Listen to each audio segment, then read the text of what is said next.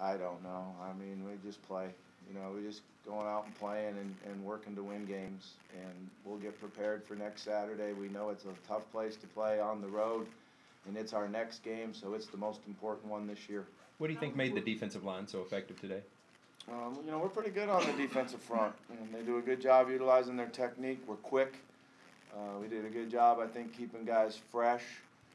Uh, and some of our quickness and our ability to, to move and, and angle uh, really gave us an advantage, and we were able to get in the backfield a few times and make negative plays. And anytime you're, you're creating negative plays, it really helps you. You know, we, you, you're putting them behind the sticks and making third down harder. So I was I was excited about how well they did. Quick- Coach, Coach, the had a off- lot of Coach, the offense- at Syracuse where the offense